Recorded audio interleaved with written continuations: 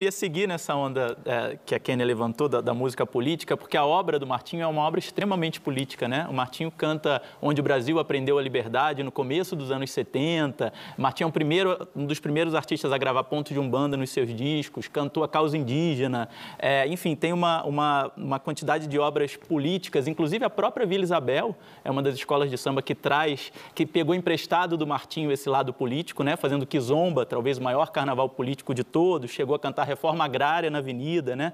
Isso tudo muito pegou do Martinho. Mas você, Martinho, nunca foi incluído naquele hall dos artistas políticos, engajados, né? A sua obra nunca foi tão vista dessa forma. Por que, que você acha que isso aconteceu?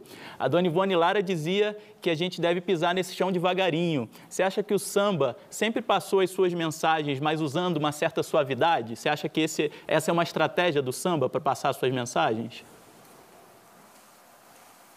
É, eu acho que é. É uma estratégia.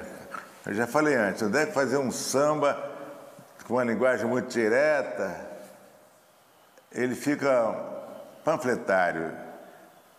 Então, o compositor tem que pensar em fazer música.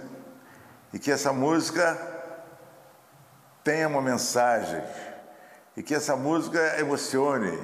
E que essa música leve à reflexão. Então, é por aí.